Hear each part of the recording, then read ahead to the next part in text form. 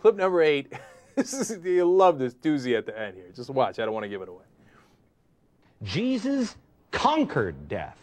He wasn't victimized. He chose to give his life.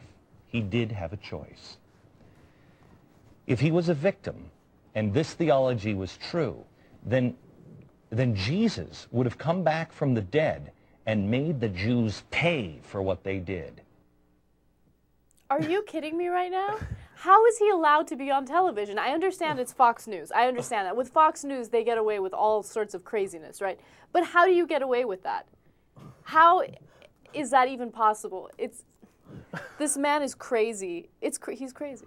No, and he, of course, the way he gets away with it and says, well, look, that's an abomination, of course, and you shouldn't kill the Jews for what they did.